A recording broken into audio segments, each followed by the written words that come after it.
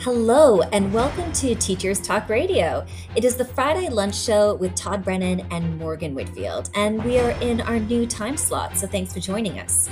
Today is Friday, August 30th, and we will be discussing the insanity that is starting a new job at a new school. Quite personal as Todd and I are doing that right now and having some pretty amazing experiences. This is Uh, Teachers Talk joining, Radio, hope to to and, your you are so listening in. live. Tune in live at ttradio.org or to join in the conversation, download the Podbean app and search Teachers Talk Radio. Follow the hashtag TTRadio. Tune in, talk it out with Teachers Talk Radio.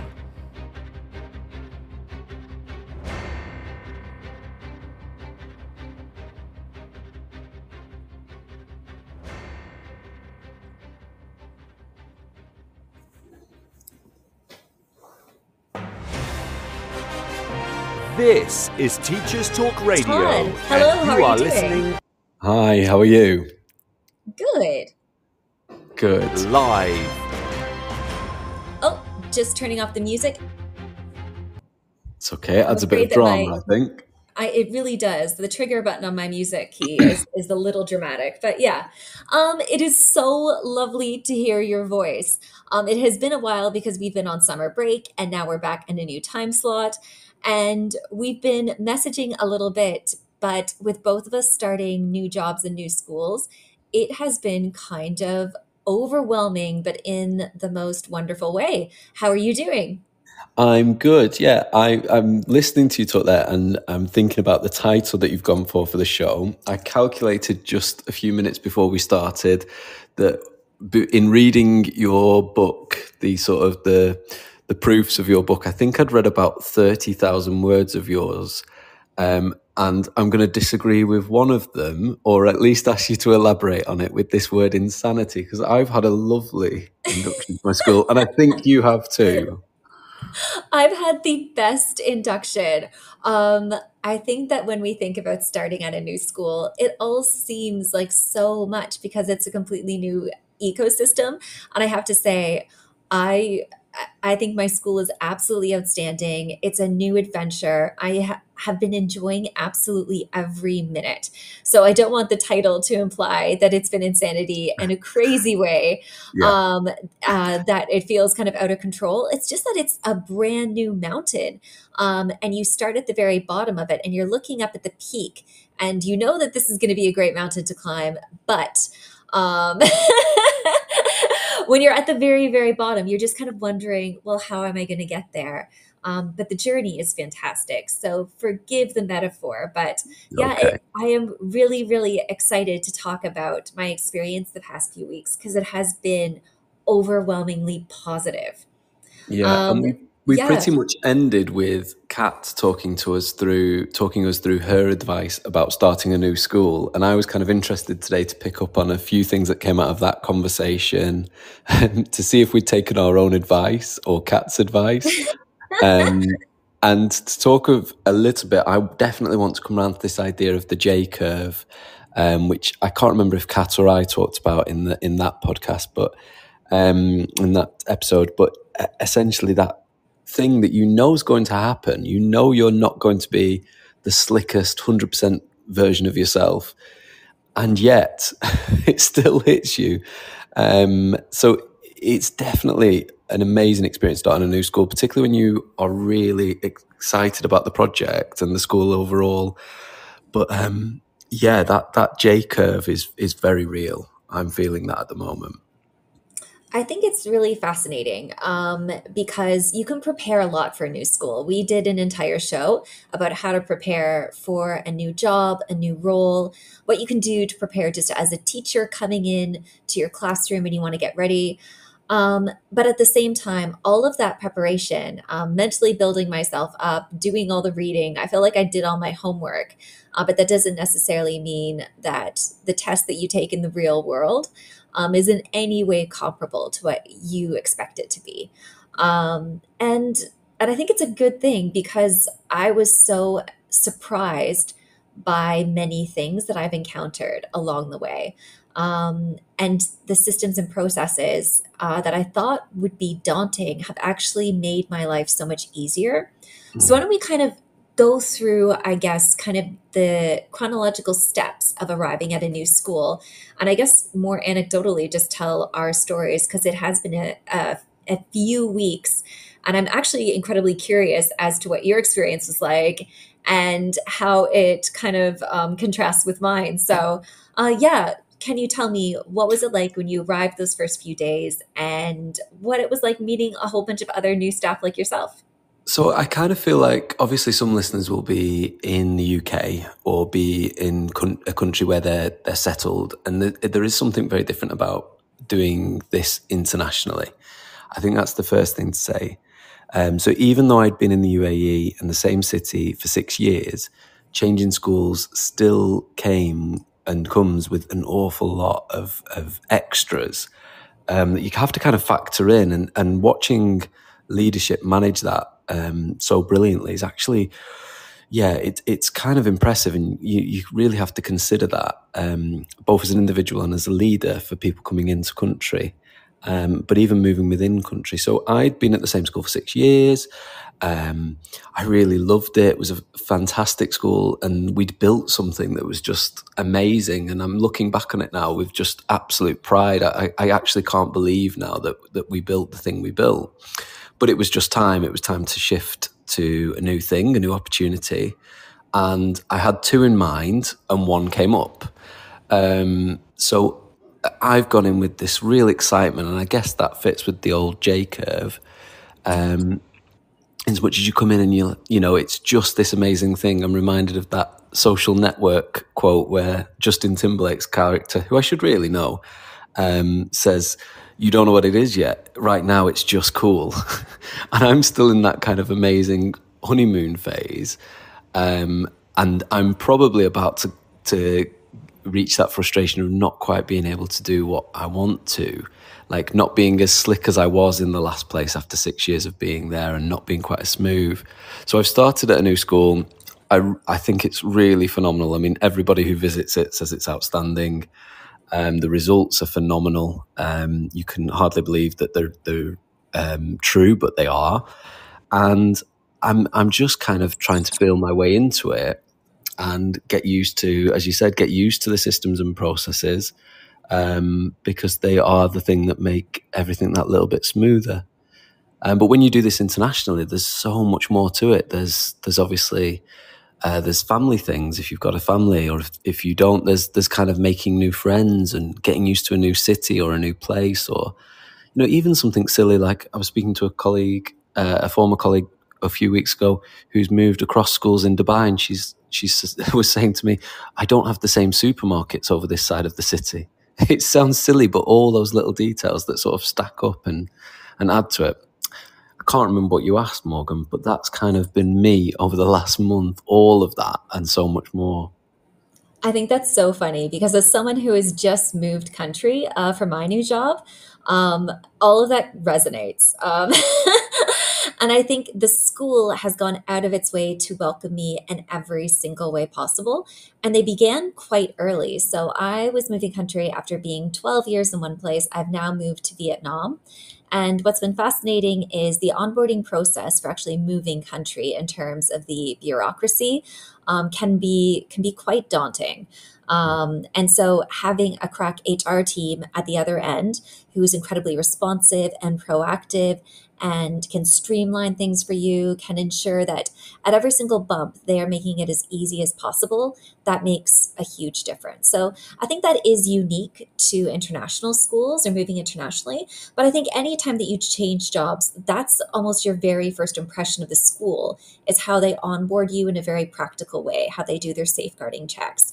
Um, things like that uh, can be quite important because they are the very first impression that staff get. Um, almost immediately after I was hired, I was set up with a teacher uh, partner. So, a buddy who could take me through, I could ask questions. And this was somebody that was outside of my department. Um, and they try to actually pair people up who have the same living situation. So if you are moving to a new city or a new place, it's really nice to have a buddy who also has kids around your age. So they can tell mm. you about where to take your family in the city um, and help you direct be directed to the things that you think are going to be particularly pertinent to your family situation. Yeah, um, part of my induction think, was sorry to interrupt you. Part of no, my induction no was they, they, something that they covered was which supermarkets stock stock British biscuits, and as silly as it sounds, you know, I'm sure you had a similar experience, but. Australian colleagues want to find, I think they're called tam, Tim Tams. And, you know, those little things that, like, when you're having yes. a bit of a, a rubbish day and you're like, oh, I want those biscuits that I like from home because I'm missing home although it seems like such a you know a silly thing to cover in induction, all of that as well as having a oh my kid's now got a friend. It all does make such a big difference. You're right. Sorry to have interrupted, but it just it reminded me of that biscuit. they literally went through um, which which supermarkets could give you that feeling of of home that's so funny you mentioned that because that's exactly the next thing that I we were onboarded with is we were given a new staff website. So it was an entire website that was completely devoted to all the questions about the city and that new staff would need to know. So there was a section on, well, with our healthcare plan, the dentists that they recommend that are attached and covered by insurance, where you go for doctor's visits. Um, it covered things like the supermarkets that you would most likely find the things that you would need, um, where you would go to pick up furniture. So, like the directions to the equivalent of IKEA um, bus routes, transportation, how to use taxi cards. Um, so, all the practical things, what you should visit in the city, but in enough detail that um, you felt like you had so much direction before you arrived. Uh, on top of that, we had access to kind of an, a version of our staff handbook. So it didn't have that we were all given um, a login for new staff so that we wouldn't see any of the school's kind of proprietary uh, details or um, student data, obviously, but it gave us a view of what the policies of the school were, what the procedures were, um, what the the teaching and learning um, atmosphere was like, and it was really really powerful because you felt like you had all of this information at your fingertips um, about your work and your life um, right there ahead of you. So it takes a lot of those questions that you may feel are quite silly to ask and it makes it really easy for you to digest because it was just a Google website um, that was that was super lovely to navigate. Uh, so having that before we even stepped in country um, was incredibly useful. So I think that's one thing that's very unique to international schools. I think. But it did give, I think, in any case, any school can do something like that to make new staff feel like they get a taste of the school before they even walk through the doors. Yeah, definitely, and and it, obviously with it being international, there's a lot more thought goes into sort of small details from memory. This is thinking about moving schools in the UK.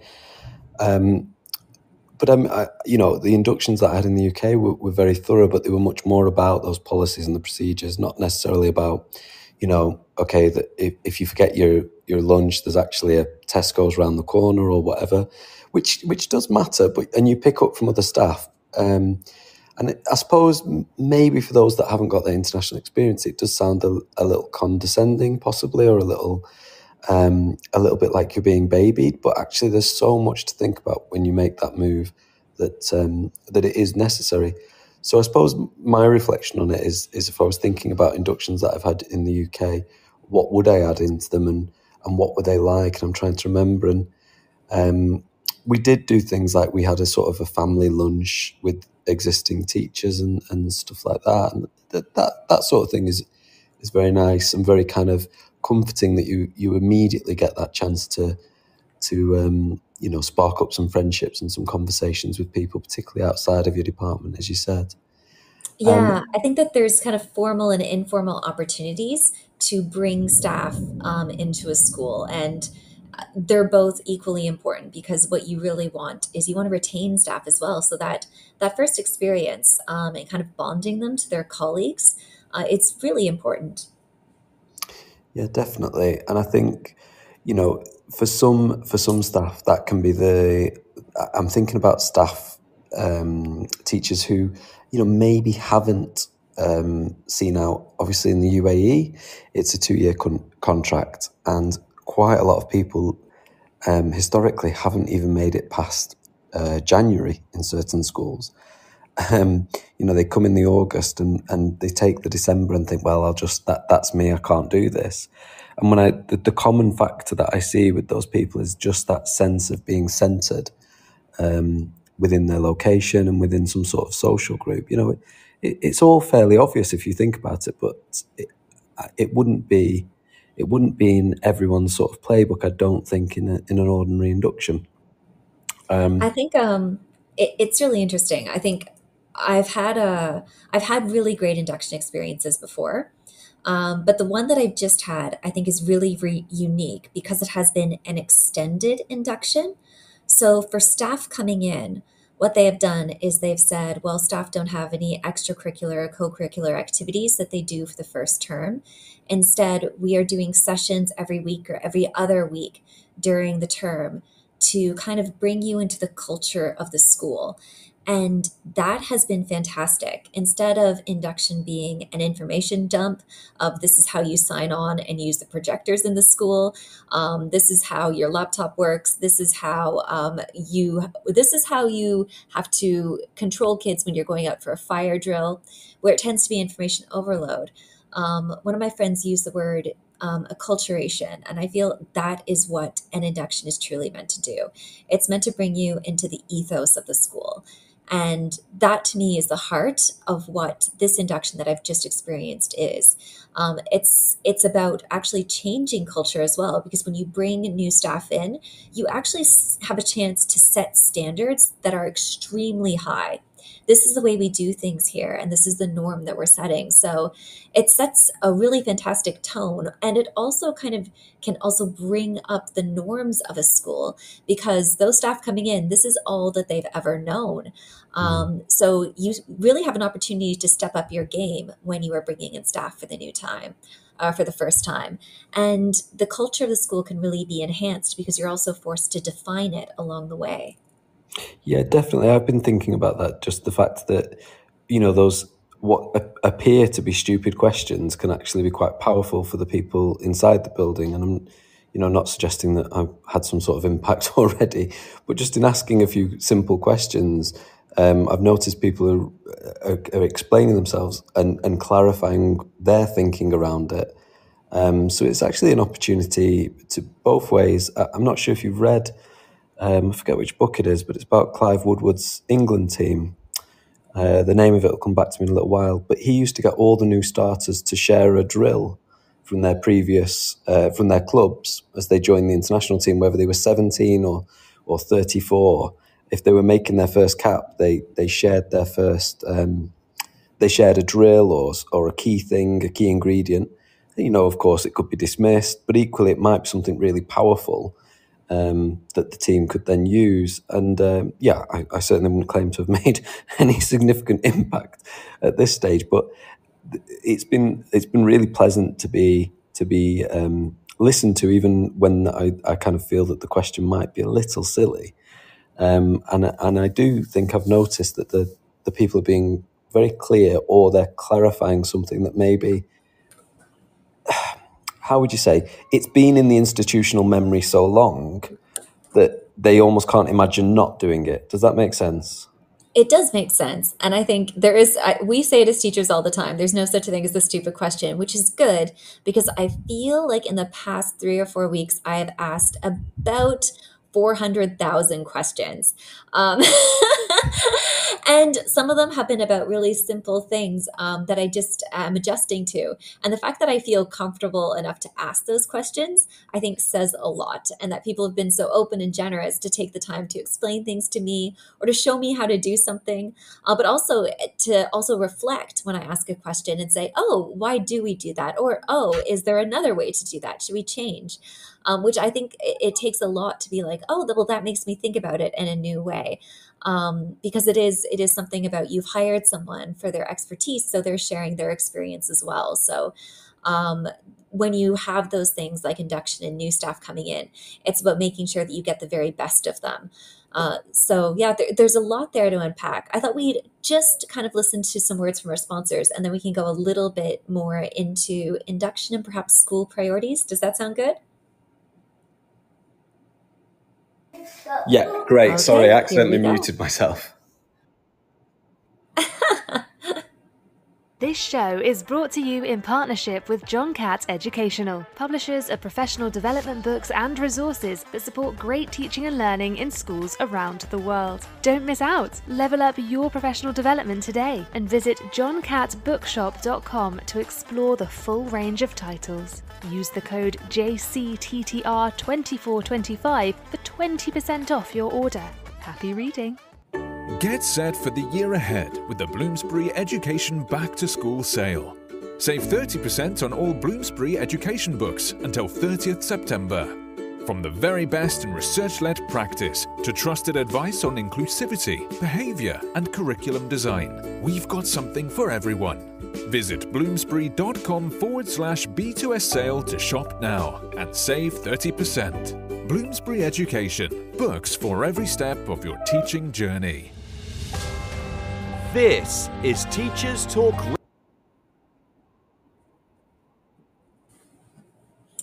Okay, hello Todd. Are you back? Yep. Sorry. There we go. Um, yeah, one thing that I'm I'm just trying to queue up what we actually want to get through here. Um, I definitely want to hear if you've taught your first lesson and what that was like, um, because that's quite an interesting experience as well. The first one and the first few. Well, I'm really lucky just because um, here in Vietnam, I started teaching a few weeks ago. So um, I've already got two weeks and a bit under um, under my uh, under the clock. So um, yeah, I think the first lesson um, I think tells you a lot about the school and the type of students uh, because they also kind of set the norms for the school. Yeah. Um, my first lesson was absolutely fantastic because I got to know the kids. Um, of course, I got to know the kids really well, and um, and it really it gave me a great kind of um, it gave me a great feel um, for a very different type of uh, experience, just because um, it's an international school and it's incredibly diverse. I'm also teaching students um, who are more English language learners than I ever have before. And that experience, it was quite new to me. So having a good idea of how this teaching experience would be different. Um, I was given that in induction. I had a flavor for it, but it's only when you have students in front of you and you start looking at the disciplinary vocabulary that they are familiar with that all of a sudden realize, okay, well, here are the things that I'm going to have to change about my teaching and the, the scaffolds that I'm going to have to put in place that will be more useful. And I think every single school has a different context um, and a different flavor of student um, in terms of what those students are going to need in order to really flourish. So, yeah, it, teaching my first lesson was a, a, fantastic way to get to know the students and a great introduction to the school um, and, and a really positive experience. And I felt like the school really prepared me and set me up for success. Absolutely. I, I found the, a very similar experience actually, just to pick up on the relationships with um, holding the line on, on things like uniform. Not that there's a particular issue in the context with the uniform, but on the small occasions when um, you know, a student shirt comes untucked on the way back in for lunch. I've, i found that's actually been a huge bonding experience. And there's already a, a, young chap who comes up to me every day now to, to check in that he looks as smart as he possibly can. Um, and uh, his expression is, "Do I look slick? do I look? what, what, do I look? Um, uh, what was his phrase? Do I look professional? Do I look like a professional?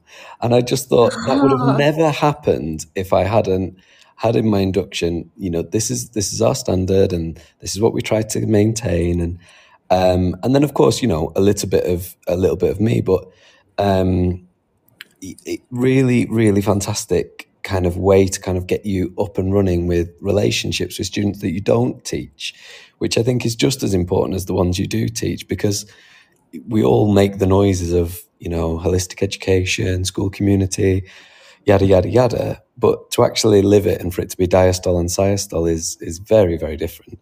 And um, yeah, something as small as that of like being in on those routines and being party to those conversations with students, as well as in the lessons, is is has been massive for me, definitely. Um, and in, interesting that you've said there about that new experience of um, teaching students who for whom English is their second language.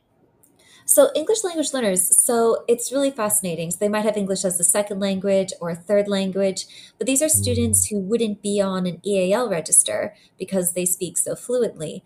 But it's because they've probably been able to mask because they're speaking English as another language so well um, that there can still be many misconceptions. So, these are students that might fall through the crack. Um, so, you might have students that are on a register that are getting specific support, but we have up to 40% of our students um, who are speaking another language um, or uh, this is their third language um, who might not have the same uh, understanding of a native English speaker, for instance. So it's really, really interesting to look at that nuance and what difference that makes in the classroom. Okay, interesting. So I suppose it's that classic thing of context being king, isn't it? And maybe that points to the fact that there are limitations to, you know, a single time period of induction. And I guess that sort of, um, what was the friend, phrase your friend used about um, acculturation? Yeah, yeah, acculturation. So, do you know what's really fascinating? Um, so, the very first uh, extended induction session that we had was with our head of EAL. And he was absolutely fantastic. And the first thing that he did is he spoke to us for the first 20 minutes in Vietnamese. Um, and uh, he started off speaking Afrikaans, but somebody in our the new staff in our induction group already spoke Afrikaans, so he just on a dime switched to Vietnamese, and he gave a 20 minute lesson in Vietnamese um, about things that we should actually know. So, what yesterday, today, and tomorrow was, uh, types of transportation. So, bikes, cars, taxi, and then grocery store, bank, school. so that, and he did that all while never once breaking into English. And it was amazing because he started asking us questions and he put me on the spot to the point where I was absolutely mortified and couldn't answer, like, just hadn't been able to follow along. Um, but it really gave me a sense of like I was nodding and smiling a lot. Um, I was pretending that I got it, uh, but I didn't. And you can really see what that must be like for students when we went into the further into the induction though what i really liked and what was the acculturation aspect of of his session was that he went through what the process was like when you admit students into a school. We looked at essays that students wrote. So we had an example of where they were starting out at. He did success stories and he did stories where things had gone wrong and these students weren't able to get the results because we weren't supporting them. So we looked at case studies we also looked at things like emails that had been sent. So, staff members sending each other emails about what they really liked about strategies they'd used in classes, or emails that they had sent saying, Oh, here's what we can work on with the EAL department to support students. And having those real examples of real staff emails said a lot about the level of expectation um, that the EAL department had for how staff dealt and related and made sure that they built those supports. And it was kind of really, really clear that the EAL department wasn't there for one on one support with identified students in a classroom. Their purpose was larger. They wanted to work with teachers to create scaffolds that could be used for everyone in the classroom, and they would work and use their time to build those important lesson resources that a teacher might not have the time to, to do that um, and they might not have the expertise that a specific EAL teacher does. And that way they could be used for not only those targeted EAL students, but all of those English language learners who could benefit from it. And that was something very specific to the school, but also um, it, it, it ensured that teachers were fully invested in the specific context and the high level of teaching and learning um, that that should be in the classrooms for our specific students. So everything about that session melded together to to give us exactly what we needed um, from the parents, or sorry, from the student's point of view, the teacher's point of view, and the EAL department's point of view, in order to really thrive and do our best by these kids. Sounds fantastic. It sounds very thorough in terms of giving you that sense of the actual the context, um, and probably makes a lot more sense once you've then met the students. I'd, I'd imagine as well. Yeah, I think I went home kind of buzzing after we had that session. And I literally reworked my year eight lesson for the next day. And then I had an EAL teacher who was in um, my year nine class the next day. And instead of letting her kind of like, we had talked about her working with certain students, but what ended up happening is we had a discussion about the lesson resources for the next lesson.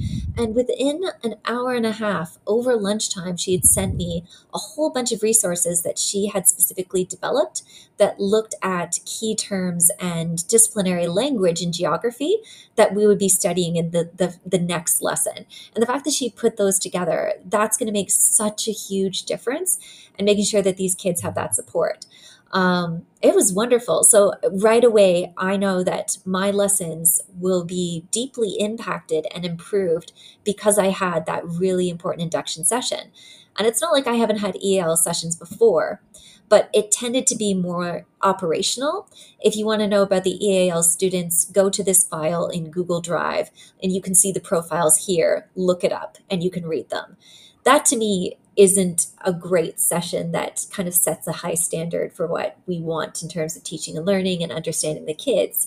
Um, and that's all you really have time for, I think, during um, a really tight few days of induction when teachers are overwhelmed. I think that when you have kind of extended over time, when you give these teachers space and opportunity to explore um, each of these aspects of the school and this the students kind of at the center of that, um, I think that you're going to have much better teachers who can deliver and have a better understanding of the school ethos as well. Yeah, definitely. And I think that's, uh, you know, the thing you've touched on there really is about that support around the teacher so that people can kind of get up to speed as quickly as possible um, and and kind of I guess work in partnership with with both the students and in your case the the um, the ELL or EAL um, uh, strategists within the school. But I suppose that could be applied to to any unique context particularly couldn't it? I mean this is extremely silly, but I remember the first teaching role I took in the south of England, being from the north of England, just things that I didn't realize were not not real words, uh, things that I didn't realize were, yeah, just just little cultural understandings that I didn't have, and that's within the same country, um, but serving a, a different community. Um, so actually getting up to speed in those ways, I think could could really accelerate your progress within a school. And I suppose that should be the aim, really, of the whole process, shouldn't it? Yeah, I think I think that it's it is school specific. Um, when I taught in the UK, and I was teaching at a school um, with a large Polish population, and I did not know how to reach those kids, I would have hugely benefited from more um, like professional learning and development around EAL and specifically how to reach those kids who many of them it was their first time in the country and they were trying to immerse themselves in a language that was really new to them. And it was sink or swim uh, when you had these kids in classes of 26 27 29 30 mm. um, so it, I think it, it's not just when you teach internationally. Every single school is going to have kind of its own little culture. And I think it's funny, like we haven't quite touched upon every single school being its own ecosystem, basically. Um, I think it is fascinating that in this stage and age, or sorry, this day and age, we still have so many schools that are hyper specific in the way that they operate. Um, I would have thought that we would be more in line because there are huge platforms in terms of MIS systems, in terms of digital environments and platforms that would make it easier to move into a new school. But in fact, sometimes all of these different apps, platforms, communication channels can make it more confusing. I'm moving from um, Microsoft Teams school to a Google school. Um, I was previously at a Google school before that. I know that many teachers have experiences in platforms like Seesaw. Um, it, you can use different things in terms of communicating with parents. Um, I don't want to go into, into specific platforms, but um, I will say that it's it's really really tricky because a lot of getting to know a new school is getting to know a new digital ecosystem as well. Yeah, definitely. And you know, I'm would be generally speaking fairly reluctant on getting used to digital things if I think something could be done quicker without digital. Um, but it is obviously it's one of those things that you need to tackle really quickly within a school. Um, and and it's not arbitrary because you want to be giving the students the same experience across the school. Um, and I wonder why why there are so many different preferences. And I wonder if this is perhaps a, more of an international thing. But those having those sessions, having those technological kind of uh, overview, and I don't mean to generalize, but particularly for teachers who are perhaps um, you know a little older. I'm not, no spring chicken myself, but you know the, the technology can be a, a real barrier to, to success. Um, and it's funny, I, I don't know why I find this funny, but as you're talking, there a Google school and a Microsoft Teams school, but it is it is in within everything about the school, so it does feel as though the whole school is um, is that operating system, that that technological uh, aspect. Yeah, I think it is. I think we live in a modern day and age that that's how students and teachers work. Um, and I think you actually see it quite clearly. There are Apple distinguished schools, and they look for um, teachers when they're recruiting who are Apple distinguished teachers. They want to see that they have teach, uh, teachers that are already trained up and Google certified or have experience, specific experience with Teams.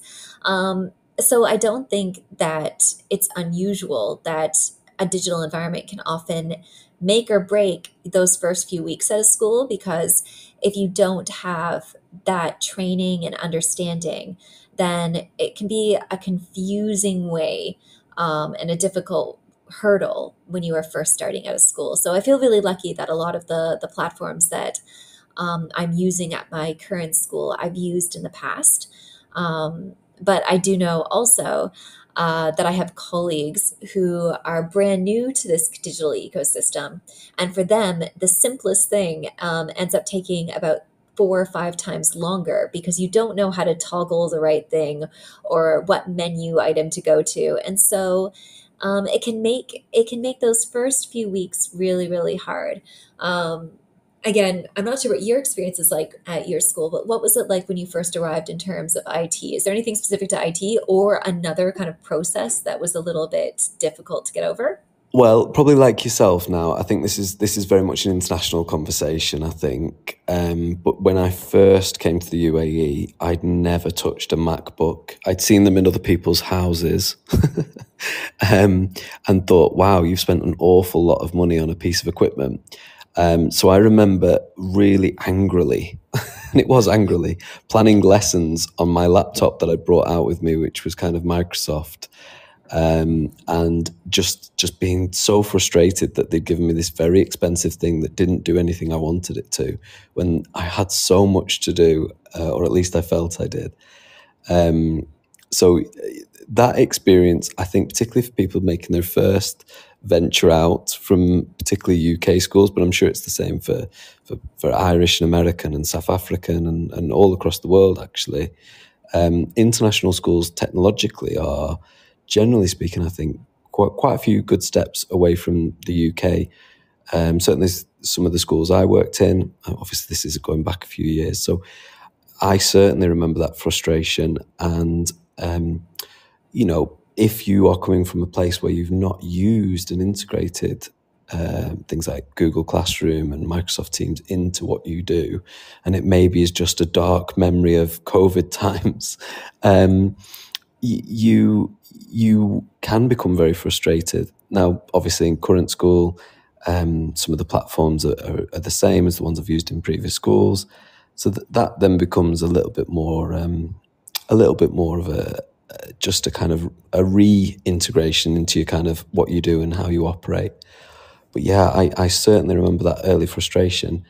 And I don't know what else the school could have done. I think it was probably just me wanting to to you know get going at 100 miles an hour rather than accepting this is going to be a little bit of a process and I'm going to have to get used to this piece of equipment first before I get on with everything else. And then once I had got used to it, everything was quicker. So um, I don't I don't really know if there's anything particular that, that inductions or schools could do about that.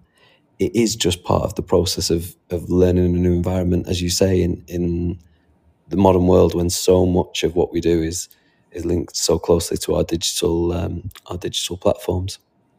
I think um, I have the advantage. I'm married to a digital strategist, um, so I, I tend to be kind of like agnostic when it comes to different digital platforms because I'm like, oh, I want to I want to use different ones, and you get familiar with them. I think over time.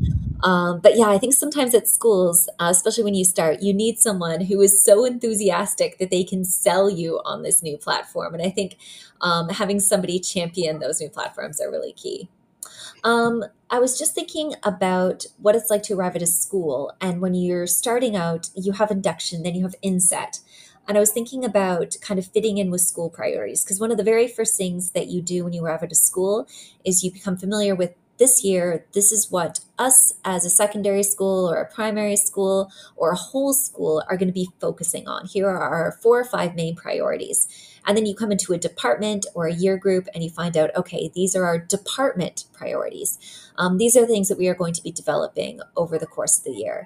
And I think it, it says a lot about a school when you when you have those very clearly laid out um, right from the beginning. So it kind of it gives you that direction and sense of purpose that you know what you can contribute to this larger vision. And hopefully, it isn't just something that um, you hear and take in, but it's something that um, you feel you can be a part of. Because I think it's easy to kind of hear the word school priorities, listen to five minutes of somebody talk over um, a PowerPoint slide and then think, well, this is not something that really involves me. But I think if you are at a really great school, those school priorities, those um, points for departmental development, um, they become a part of your own personal goals and you're given lots of support around it. You're giving professional targets, you're giving lots of professional development, opportunities for you to grow in that direction. It should all align. Um, and I think that really does begin in those first few weeks of the school year. And it's not just for new staff, but existing staff that they get that really great start, that jump off point. Um, how do you think that can be best done? How can leadership make sure that they sell staff and especially new staff on what those school priorities are? Well, can I take you back a step? Do you do you think they should? I, I, I'm not kind of. I think I'm probably agnostic on this. I'm not sure if the first little phase isn't just find your feet. Um, and maybe that then becomes integrated into what you do. I don't know.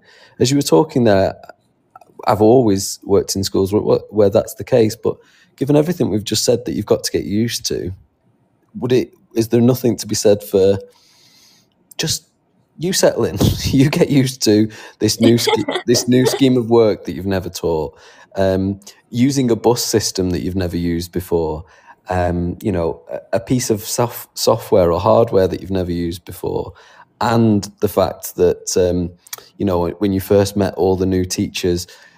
I think I spoke a lot in the CAT podcast about keeping a version of yourself that's, you know, maybe like the the diet version. But you know, with all of that stuff going on, um, is there something to be said for just fixing your for your four walls first, and then being involved in those larger conversations? I think that that's like there's like gotta be a happy medium, and I'm just thinking about like. Ex- successful inductions and insets at the beginning of the year that I've had in the past have been really well balanced. So in the morning, you should be doing kind of interactive workshops, whole school events, um, some type of CPL, CPD um, that is exciting and interactive, workshop based, where you get to talk to other teachers and you get to have those discussions about things like the your, the direction of your department, what well being looks like in your pastoral context um, what it looks like when in terms of teaching and learning priorities. And then in the afternoon, you have to settle in. There's something about you need uninterrupted time to set up your classroom. Because I think the very first school tour that I did at my new school, um, we all went around, and what every single teacher wanted to know was, Where is my classroom? There was a history teacher who literally jumped up and down and twirled when she saw her classroom and started to unload displays that she had brought all the way from the UK to Vietnam out of her backpack so she could start setting up her room. And I think that's what you want to do. You want to have time so that you know uh, where you can talk to other teachers um, where you can interact, where you get to understand the school um, and its priorities and its culture and what makes it excited and all of that. But at the same time, you need at the other end of the spectrum quiet time to sort your thoughts out, get yourself um, kind of on board with the new schemes of work. Um, make sure that you have your books all set and ready to go, that your printing for the first week is all done, and that you know how to use the photocopier all of those things um, are, are all really, really important and you need time and space. So I think doing things in the morning during induction time is fantastic so that you can kind of get those meetings out of the way. But at the same time, you do need time to do the, the very basic setup um, and prime yourself for the gauntlet that is the first term that you are teaching in a new school. Yeah, and I, I think that's kind of where, where my priorities lie. Uh, this, the, I think the idea of getting you too involved in the school priorities too early, I don't know, it's sort of, you're in a swimming pool trying to do 10 meters and Katie Ledecky and Michael Phelps pop over and start talking to you about tumble turns. It's a bit, you know, oh, well, I'm kind of drowning a little bit. Would you, will we worry about me being underwater doing flips later? Maybe I, I don't know. I just it is certainly nice to be involved in the conversation, but I think I wonder if um, for the first phase, it, it, it's maybe better just to keep it really, really simple. And as you say, sort your room, sort your lessons. Okay, you know. Um, well, it's quite interesting as well when you're talking about how you how you'd run an induction. It's very clear that if we ever ran a school, you'd be the favourite and I'd be the curmudgeon because I was thinking, yeah, but when are you going to read the staff handbook? Yeah, but when are you going to tell them the house style? When are you to why, why haven't you covered the behaviour policy yet? Are you going to tell them how to manage a canteen? Yours is all sort of like fun and engaging, and I'm like, here's some information. I think that's the thing. You can give people information ahead of time, which is great because you do need that information. It's so important. Um, but I think you make a really valid point. I remember coming from Canada to teach in the UK and I'd had this really deep conversation with my new head of department who I desperately wanted to impress, desperately wanted to impress. Um, and she was wonderful. And so she sent me off to go look at um, the GCSE scheme of work. And she had printed it all off. And I spent 45 minutes trying to open your ridiculous binders. Do you know that binders, the big ones in the UK, are mm. completely different than the ones in Canada? There's only like two like huge holes. They snap in a weird way. It took me 45 minutes and finally I had to go with her in with just in shame and ask her how to open up a binder. And i consider myself a smart person but the simple the simple thing of getting used to a new place it, it, it can it can it can take away and add friction um, to what you want to be a very slick operation why don't we take a break right here and we'll just listen to the news? Um, and then we can start talking about professional targets and the more exciting things that come after that very first week of school. Sounds good. This show is brought to you in partnership with John Catt Educational, publishers of professional development books and resources that support great teaching and learning in schools around the world. Don't miss out. Level up your professional development today and visit johncattbookshop.com to explore the full range of titles. Use the code JCTTR2425 for 20% off your order. Happy reading! Get set for the year ahead with the Bloomsbury Education Back to School sale. Save 30% on all Bloomsbury education books until 30th September. From the very best in research led practice to trusted advice on inclusivity, behaviour, and curriculum design, we've got something for everyone. Visit bloomsbury.com forward slash B2S sale to shop now and save 30%. Bloomsbury Education, books for every step of your teaching journey. This is Teachers Talk Radio, and this is Teachers Talk Radio News.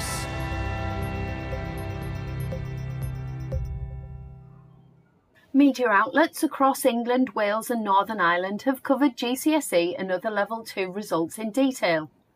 Many stories highlighted the fact that Year 11 pupils receiving results this summer started Year 7 in September 2019, but were in lockdown before the first year of secondary school had ended, with the BBC describing the cohort as unique. Many stories focused on the GCSE pass rate, which has fallen for a third year running back in line with 2019 levels. The drop was steepest in Northern Ireland, followed by Wales. In England, the plan was to bring grades back in line last year, but they remained a little higher. The regional divide continues to grow in England. London continues to be the highest performing region with 72.5% of entries marked at grade 4 or above, compared to the 63.1% in the West Midlands. The gap is up from 8.7 last year to 9.4 percentage points. It seems the pre COVID north south divide is continuing. Four out of five regions in the North and Midlands had a lower pass rate this year than in 2019. But in every region in the South, it has risen. Many have commented that long term disadvantages within some regions are to blame. MPs warned last year that it could take a decade for the gap between disadvantaged pupils and others to narrow to pre pandemic levels. Resits are also set to rise for both English language and maths. This is because the pass rate is slightly worse, but the 16 year old population has grown since the pandemic, so more places on courses to resit will be needed. Colleges have previously said they had increased class sizes due to population growth and grade boundary changes, but will now need to prepare for even more. This has prompted some to question whether the compulsory resit approach is still appropriate. Full details of the results analysis can be found on the BBC, TES, and other education news websites. In Australia, the right to disconnect is coming into force. It gives employees the power to not respond to out of hours contact from their employer without suffering consequences. This has prompted some to consider the impact this could have on schools. While some legitimate out of hours activities have to take place, residential trips, visits, and sport, etc., teacher unions have argued that staff should not be permanently on call. They have particularly focused on parent and student contact with teachers, especially via email, and the expected response times, which should be in place in order to protect work life balance. The news from Australia has prompted fresh debate on social media regarding workload for teachers in many countries, use of emails, and the recruitment and retention crisis in the UK. The Guardian focuses on the story of a group of trainee female doctors from Afghanistan who have travelled to Edinburgh to complete their medical degrees after the Taliban forced them to quit. The 19 women arrived in the UK last week after a three year campaign by the parents of Linda Norgrove, the kidnapped Scottish charity worker who was killed during a rescue attempt by US Special Forces in 2010. A foundation set up by her parents worked with UK and Scottish officials to arrange safe passage and student visas. They have been given places at four medical schools after Scottish ministers changed the law to treat them as home students eligible for free tuition. One of the women arriving said, Our journey here will be long, eight or nine years. I think during this time many alterations and changes will come to Afghanistan. I am hopeful the situation won't remain the same. Finally, a primary school in Orkney has welcomed a new, unusual intake of pupils. According to the story on the BBC News website, the new class is made up entirely of boys. The rare occurrence is a first for the P1 class teachers, but the situation doesn't seem to bother the boys themselves. with one of the 18 saying the class was good without girls. The school is making sure that the boys will still have the opportunity to interact with girls outside the classroom, but that the boys only class was really special and something they're going to remember forever. This has been your Teachers Talk Radio News with Joe Fox.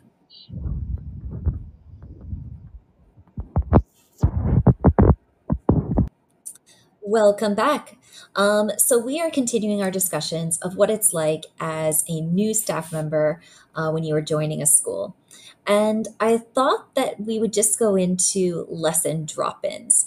Um, so, at my new school, when we were going through our induction process, there was talk of lesson drop ins. And my immediate thought was, oh, this must be about quality assurance. So making sure that as a new staff member, they are checking in on me to make sure that I am a good teacher and that I'm the teacher that they hired.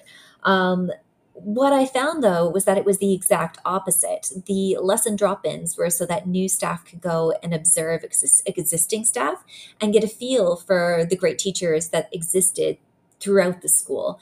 Um, this was really, really useful because the school, for instance, that I've just moved to is an IB school, and I have never taught IB. So the idea that I go and get to drop in on IB lessons was particularly useful for me. Uh, so I love that this was the approach that the school took. Um, that it was more of what can we give teachers to make them even better and get to know the school even more right from the get go. I was also thinking about another headmaster that I had at his school. And one of the things that he did that I absolutely loved was that after new staff members had settled in, he always made it a priority to set a one on one half hour meeting with new staff members and just ask them about how they were settling in, ask them about what they loved about what they were teaching, ask them what their challenges were. And it was a really free flowing conversation. And he had this little red notebook where he would take notes on every single one of these meetings. And he would follow up to make sure that these new staff members, if they had concerns that they were dealt with, um, if they had strengths that had gone unseen, how to let them shine. And I think that's that's a really wonderful way um, for a new staff member to feel very seen and very heard, especially by leadership.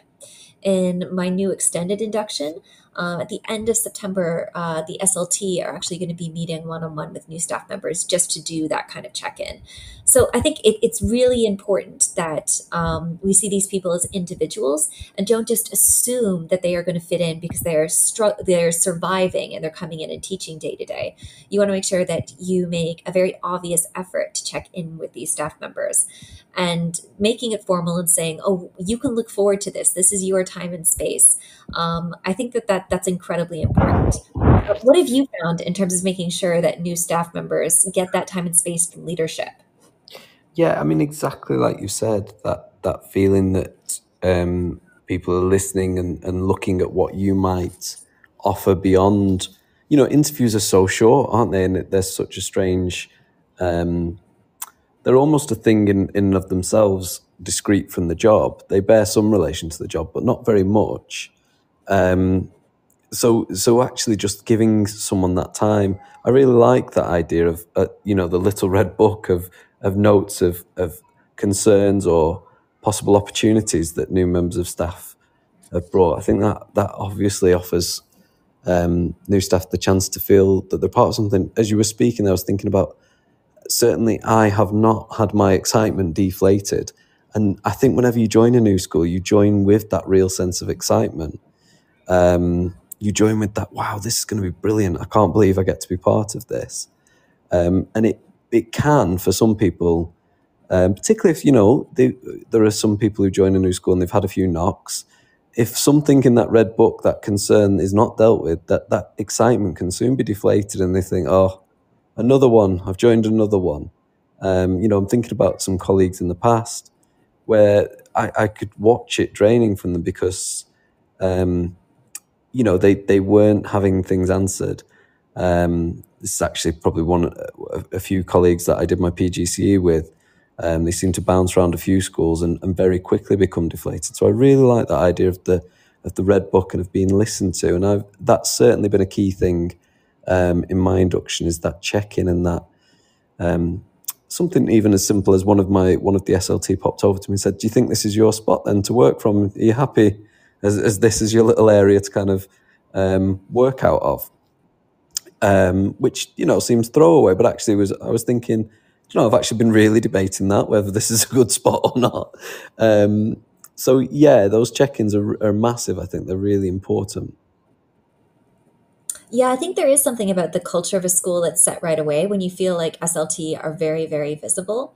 Um, the other day, I had my head of secondary walk into one of my lessons. And you know, when you're in the first week of school and the projector doesn't work for you, so you're teaching technology blind, but you've just written everything on great big whiteboards. The kids are active. Um, you're having fun with them, which is the most important thing, and they are completely engaged. Um, and so it was lovely to know that he was interested enough to just stop by, pop his head in. It didn't feel like an observation. It didn't feel like I was being judged. It felt like he was interested in making sure that I felt like I was part of an environment where there was an open door culture. Um, and I think it does set the tone. I think tone setting is really important at the very, very beginning. Um, I was thinking about some of the other things that just they they gave me this kind of nudge that this school was doing a lot of things right. So the emphasis was put on the very beginning of the year on teaching and learning, um, the sense that our school has five different um, continuous professional learning routes. So, one of the very first decisions that you make as a teacher is whether you want to go down one of these routes. So it could be that one of the routes is learning forums where you are discussing um, a certain topic. So we had learning forums on adaptive teaching, metacognition, modern masculinity in schools. Um, really, really fascinating learning forums you can join. Or it could be that you want to do action research, or another route would be lesson study. So the fact that you're given time that's set aside every single week to focus on teaching and learning, and then you're given a choice to choose an avenue that you are particularly interested in, uh, right there, that set the tone for what teaching and learning means in the school. So for me, I immediately felt really empowered because I had all of this choice. And I also felt like this was a nod to what the school felt was really important in terms of developing their teachers and staff and giving them opportunity whenever possible to do so. Uh, so, right away, I think there's a lot of great things that you can do to nudge teachers to what you think um, should be a priority in terms of their time, the structure of the school. Um, and, and again, I know that you were going to say we need teachers to just settle in. but I'm a huge fan of immerse yourself and like take all the opportunities. I love hitting the ground running. It is overwhelming and you do tend to go fast and perhaps trip. But uh, yeah, I think there's an enthusiasm at the beginning of the year that you really want to you want to capture that dynam- that dynamism if you know what I mean. Yeah, definitely. And I, I, wouldn't want to spoil that. It's just funny listening to how you would run an induction and thinking about the, the, the priorities I have, which is always like I always just want to see somebody else in the school teach, someone else in the school interact with the kids. I want to sign a handbook, having read it all. just really banal things. Um, whereas yours sounded very dynamic and exciting. But no, obviously, I think teachers, generally speaking, are very very engaged people um, who have certain directions that they want to follow, and they've joined your school for a particular reason. Um, as I said before, I was looking at which school to join, and, and this was um, a school that was on my radar. And um, there, there's certain things about it that have made me want to be part of it. And if, as as I do settle in, if those things kind of, you know, um, if I'm allowed to to or encouraged to um, follow my interest, follow my engagements, and follow my curiosity within that setting, that is definitely going to um, doesn't seem possible right now, but actually increase my engagement and my excitement about being part of the overall thing. Um, and you know, you've you've pointed there that there are to the fact that there are at your new school a few ways in which that's um, shepherded because you don't want everyone going off doing such different things because they'll never it wouldn't be possible to bring all those threads back together. But within you know a, a set of a set of priorities that that excitement, that initial excitement, can certainly be a real a, fu- a real fuel to probably accelerate the whole school. Actually, not to put too make it sound too grand, but I'm thinking about football teams. Often, a new manager or a new player, or you know, someone that's come from a different type of club or a different country can engage an entire new uh, a new way of being in a football team. Um, and I guess that excitement it is it is like dynamite. It is like it needs capturing, doesn't it? And so that that is one avenue to rather than just reading a handbook. it's one way of capturing yeah. that, that lightning, if you like. I think that's exactly it. And that lightning, I think there's so much energy that you have at the beginning of the year. And when you're at a new school, you are so excited. You've been anticipating it and you've chosen this school for a reason. I think it's about sustaining it. So, again, I think extended induction over a longer period of time to support staff is the way to go because you can't fit it all in. But when it comes to crunch times, like let's say the use of data and reporting, um, every single school is really, really kind of finicky and how they how they use data and how that can be impactful on interventions. So, when do we choose times to give staff support and how to analyze that data? Um, I think that there's just this assumption um, that you will kind of pick it up naturally, but I think that staff can really be given that extra support. Same with things like the norms of student leadership. It's really nice after the first week to perhaps have a mixer with student leadership during a lunchtime so that new staff members can really get to know and get a feel for students. Um, and I think if they're mixing with student leaders, right away they know who to go to if they have questions, they know who the prefects are, um, who are the role models in the school, what the students feel are incredibly important for teachers to address. Um, I think those are really, really great ways um, that you can kind of get um, a sustained uh, a sustained induction um, that makes sure that teachers don't burn out and are continuously learning something while they're while they're in that very first term, that second term, that first year of being in a school. Because um, things are, are always new because it's your first time doing it your first set of reports your first set of parent teacher conferences. So getting those little boosts beforehand and giving that extra information it also cues those high expectations that you want to have for staff. Um, so yeah, yeah. I think I feel like I've gone through such a great experience this induction, and I've had really different experiences, but equally enlightening experiences in the past. Yeah, and, and we did uh, as part of the induction and meet uh, meet the parents or some new parents or some existing parents were invited into the school. And, and I found that really interesting as well because you're getting a sense then of look you know I've sent my child to your school. This is what I believe um, this is what I believe the school is, is offering and what I why I've sent the child my son or daughter to the school. Um, and and then you have that really uh, clear insight into not only what you expect of yourself and what you expect of the pupils, but also what the parents expect. Um, and I, I, won't go into too many personal details just in case it, it would reveal um, anybody. But um, one of the parents said to me, you know, we really this is this is an, an expense for us, um, or, or words to that effect. And I, I thought, you really believe in this. You really believe that this is the absolute best for your child um, because in the way she phrased it, it was as though she was saying to me, "We're pushing ourselves to make sure that they are able to attend this school." Because obviously, you know, but maybe others don't, that in the UAE there aren't any um, there aren't any free schools for for expats in particular. There are there are different levels, and different companies provide different levels of uh, school fees within packages. Um, but they had clearly uh, added a little extra in themselves because they believed in the school. Well, I know now when I'm having interactions that I have to keep that in mind that that this is something that somebody is maybe giving up a little bit of extra time for or cutting back on a little something for to make sure that uh, their child is part of this thing that they really believe in. Um, so that that felt like a real introduction to the culture where if I hadn't had that, I maybe would have come at it with some, you know, some misconceptions possibly. I think that's really interesting. Um, why don't we have a word from our sponsors and then why don't we end on looking at school vision? Because uh, I think that's a huge component of getting new teachers on board.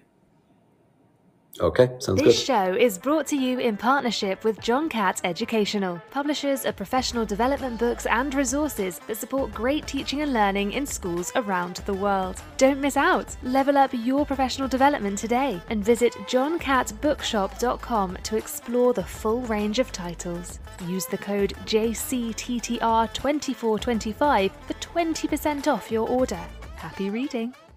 Get set for the year ahead with the Bloomsbury Education Back to School sale. Save 30% on all Bloomsbury education books until 30th September. From the very best in research led practice to trusted advice on inclusivity, behaviour, and curriculum design, we've got something for everyone. Visit bloomsbury.com forward slash B2S sale to shop now and save 30%. Bloomsbury Education, books for every step of your teaching.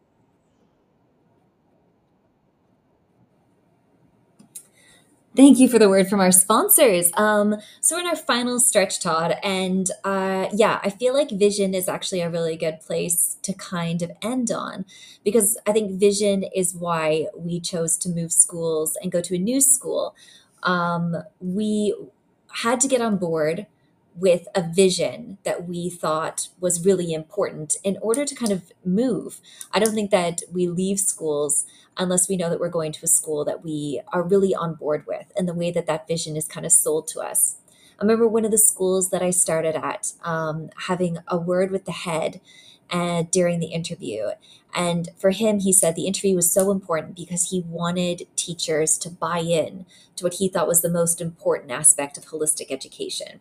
And that he saw the interview as a chance to make sure that he was selling uh, teachers on this vision, that it was so important that they felt that this was something um, that was, um, I guess, an imperative of their own. And sustaining that into uh, an induction, into inset, making it a part of your practice, that vision becomes huge. And it's the ethos and fabric of the school that you live and breathe it every day. You were talking at the very, very beginning about um, a student and their uniform.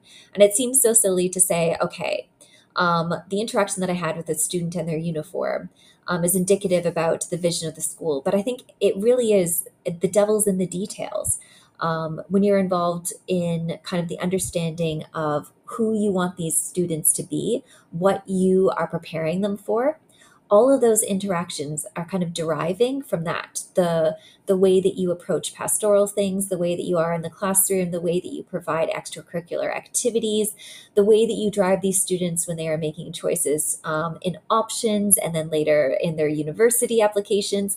All those things i think tie in with that vision. Um, so when you think about schools with great vision and your own experience about getting on board with the vision uh, what immediately comes to mind Yeah, I mean, I think it's it, you've you've hit the nail on the head there. It's that process of recruitment, isn't it? It's um, you're both selling a vision, um, a vision of for the teacher how you operate with how you operate and who you are and what you believe, um, and they're selling you a vision of what you're going to be part of. Um, and as long as everyone's honest, and I think that that's really productive. Um, I think you you touched on there the idea of of the uniform, um, that small uniform thing. I think very clearly on on interview, I, I basically made it clear that I I buy the vision of the school, and then for me, it's really important to embody that in the same way that um, they're they are embodying what they said they were on interview.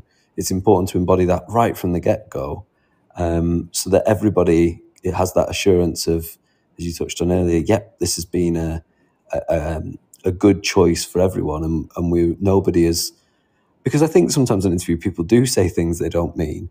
Um, I I think it's important from the get go to kind of be be showing, even if you're not up to full speed, what you what you are, and that you are the embodiment of the the vision you said you were, and that you have um, select a good match. Remind me of what your question was, Morgan, because I- I got so excited about that idea about recruitment. no, I think you've answered it perfectly. I was thinking what immediately comes to mind when you think about vision and getting on board with vision. Because, yeah, we go to a new school because we're sold on the vision. And I think that everything that that comes thereafter. You want to make sure that it's the same vision and that it's not convoluted that it's repeated that it bleeds into all these different aspects of teaching because teaching is so multifaceted. Um, but I think keeping that enthusiasm and making sure that that vision is consistent and has clarity across all these different staff members um, as they come every single year and you're using the very best of the expertise that you have in order to accomplish that vision. Um, i think that that's a difficult thing to do and the way that we um, induct teachers the way that we welcome them the way that we use acculturation to get them into um, our our staff body um, and make sure that they they buy into like the ethos of the school, the culture of the school. Yeah, um, yeah. It, it's, it's, massive so that it's in everything. I, I, think it's yes, massive exactly. that it's in everything that you do because the the worst thing to be on either end of the bargain um, would be some sort of dodgy secondhand ca- um, sales car uh, car salesman. You know, oh yeah, well, yeah, sold as seen, I'm afraid. Sold as seen. You, you knew what you were getting yourself in for. You know, no, no, you said you were the thing. What, why aren't you being the thing over here? Um, now, neither of us have had that experience, which is which is obviously fantastic. But I'm sure we have in the past, or maybe know people who have. But from a school's point of view as well, I don't think that should be a threat. That should be, um, you know, the worst thing to be as a school would be the teenager that tidies their bedroom by throwing things underneath the bed. yeah, just don't look over there. We've, that's not part of the vision. um, so your new staff actually is quite a, a, litmus test of whether you are actually who you say you are, and if you're not, I think a good deal of ownership with that. Um, yeah, a, a, very very strong head teacher that, that both of us know. Um, is quite open about the fact that even though they, they think they're very strong and the school's doing very well, yep, there's lots to fix, lots we want to work on. Um, so I think that transparency and being open to people saying, now over there, does that that doesn't seem to fit with the vision that we discussed? That what what's happening there? Um, that type of I, I, don't know if she'd mind me quoting, but I, I think um, Rafif on uh, LinkedIn said something the other day about a leader in her school talking about radical transparency. Was that the phrase? Yeah, radical transparency is fantastic. I think they used it at Amazon, um, I believe. But the idea is is that, or Netflix was it? The idea is is that you um, have completely open communication, um, and that radical honesty, that radical transparency means that you actually have better collaboration um, it's more open. All data is shared. Um, it's it's it's really transformative, um, and it kind of pulls back the curtains. I think, um, and it gives a lot of freedom. I was just thinking as you were talking that one of the ways that you know staff members are comfortable and settled in is the fact that they might go beyond asking questions to challenging things, to mm. saying, "Oh, is there an assumption made here?"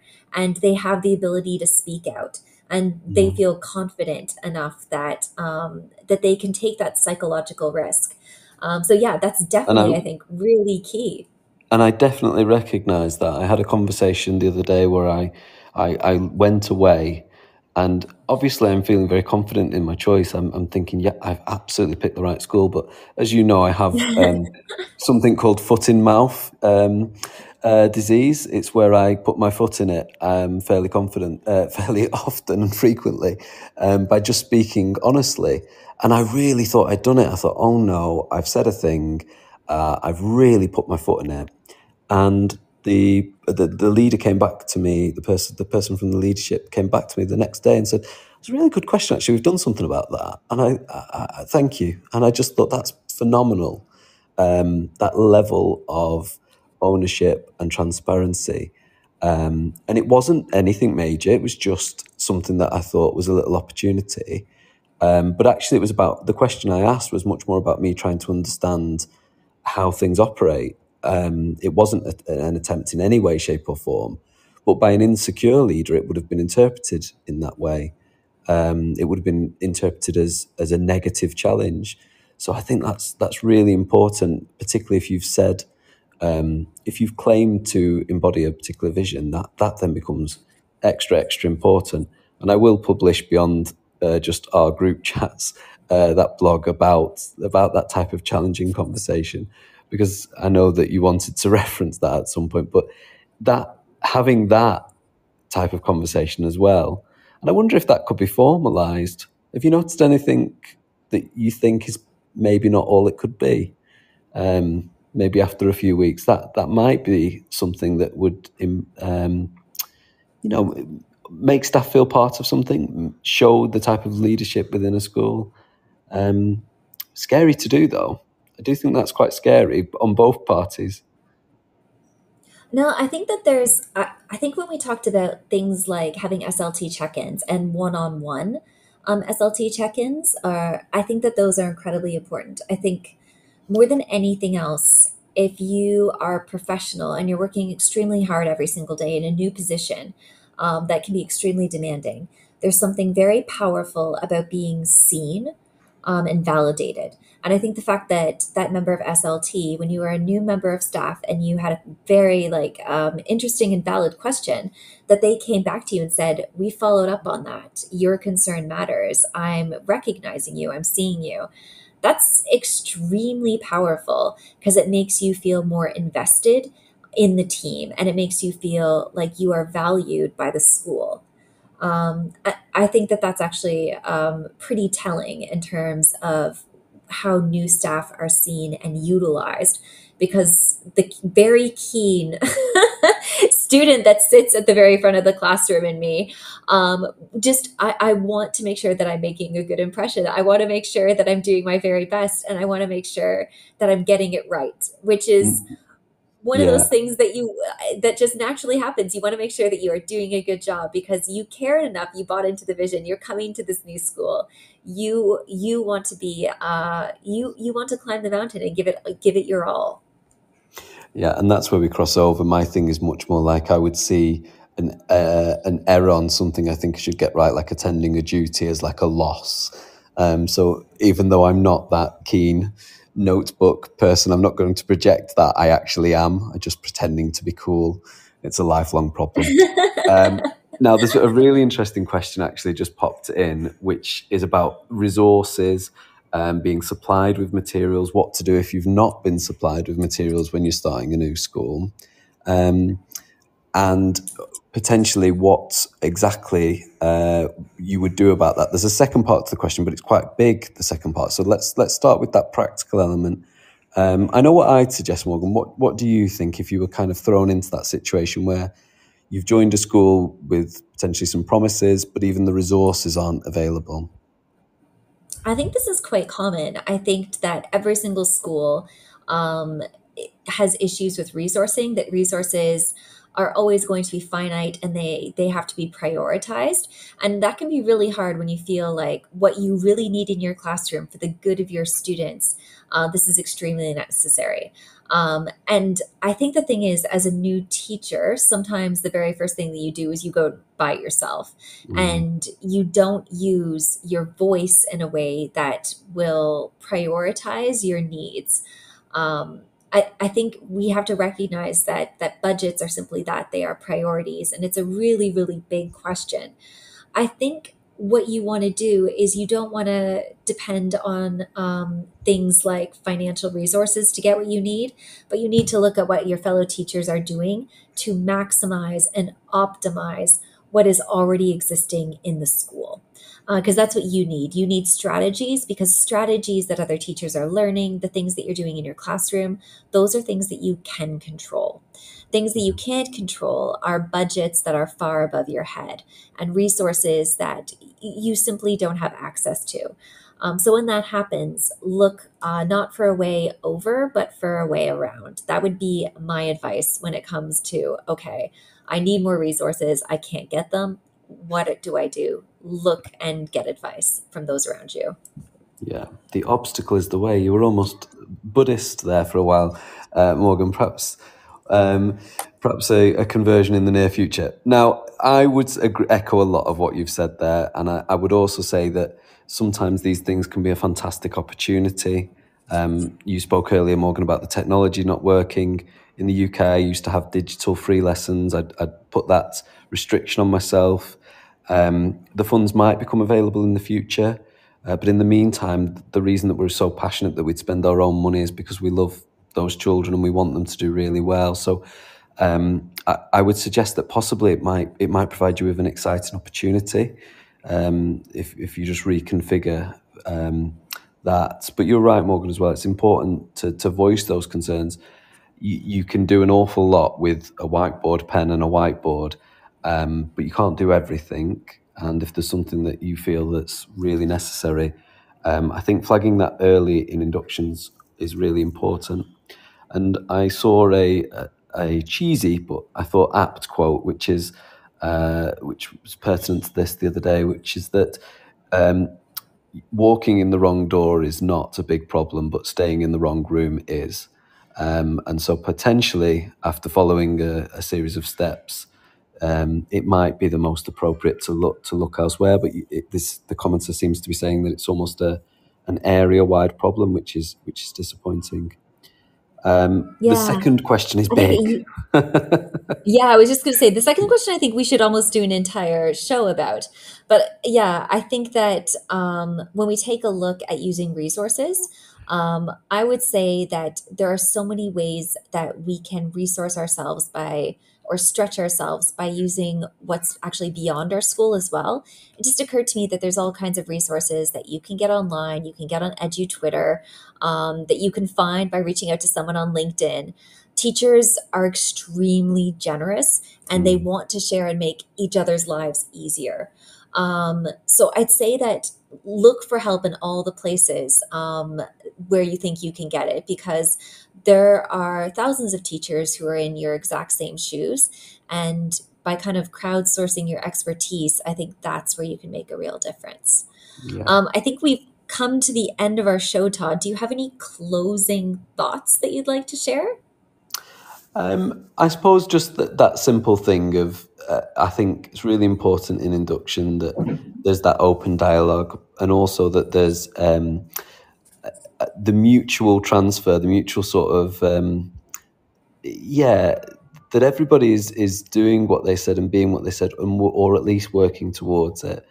Um, I do think that it's really important that everybody gets absolute clarity on the house style and the policies and all those basics. But I do I like what you've said as well because it has to be much more than that. Um, it has to be about sharing that spark that made you join the school, that, that filled you with that excitement to join the school and join that new community. Um, and, and that light not being dimmed in that first phase and ways in which finding that. We started with the practical elements, um, but at the end of the day, as we've ended with there about the resources, the resources and the, the practical information, they are really important. But if you have that within you, that vision, that clarity about your purpose, um, the resources will get out of the way. There will be other ways of, of, of dealing with those practical elements. So I think a really full, well-rounded induction is is hard to do, and we're both very fortunate to have to have made good selections. I think um, in that regard. Yeah, I, I'm so happy that I am where I am. Um, I think you're happy too, and I think there's something. It's exciting to begin at a new school. I think I would just end by saying um, the extended induction, I think, has probably been a game changer for me. I think that having many different sessions over the first term where I can go in depth and learn about the different areas of the school from experts, that really has made a huge difference, I think, in making sure that I'm on board with how the school does things. And it doesn't just feel like a superficial covering of where to go or a dry reading of policy, but a very lived experience that's contextual and shows a lot of care. I'd also say that, like, the vision of the school, having that crystal clear. Um, I've gone to two schools where they've actually put the vision on the lanyard. So, you know, your lanyard with your name tag that you carry with you everywhere. Um, yeah. I've seen a school that they believe in equity in so much of what they do, and their vision of the school actually is about adaptive teaching. So they have 10 bullet points about adaptive teaching that they carry with them on their lanyard wherever they go. And another school, the vision was all about pastoral care um, and how that is at the heart of the school. And so those pastoral conversations, um, those those pastoral hints and conversations, that was on the back of the lanyard that they carried with them everywhere. And I think that that says a lot. I think that vision should be intrinsic. It's something that you're given as soon as you arrive at the school, and it's something that you want to literally sometimes carry around with you every mm. single day, so that you feel like you are close to the beating heart. Um, of the school. So mm. I'm really glad that we've had these positive experiences, and I can't wait to see um, this year kind of uh, evolve. I, I think it's going to be a really good one. Yeah, and you've definitely spoken and written before about the, the school motto, and I think actually that's on most people's lanyards. So that that's probably quite an easy change for, for leaders to do. They could pick that up on Monday with new staff, couldn't they? So um, just going back to that motto and saying, here's here's who we are, here's what we say we do. Um, and I used to start all my department meetings with that, with with the elements of the dip that I thought were important for that year um, because then it was clear that the rest of the meeting was all about that. And if it wasn't, then I could be called out on it. Um, so, yeah, vision, coming back to that continually. I think that's really, really vital. Morgan, a pleasure as always. Yes, so lovely. Thank you so much, Todd. And thank you so much to our listeners. Thank you for everyone who texted in. Um, everyone, have a really lovely weekend. It's been lovely being a part of your day. Goodbye. Thank you for listening. Bye.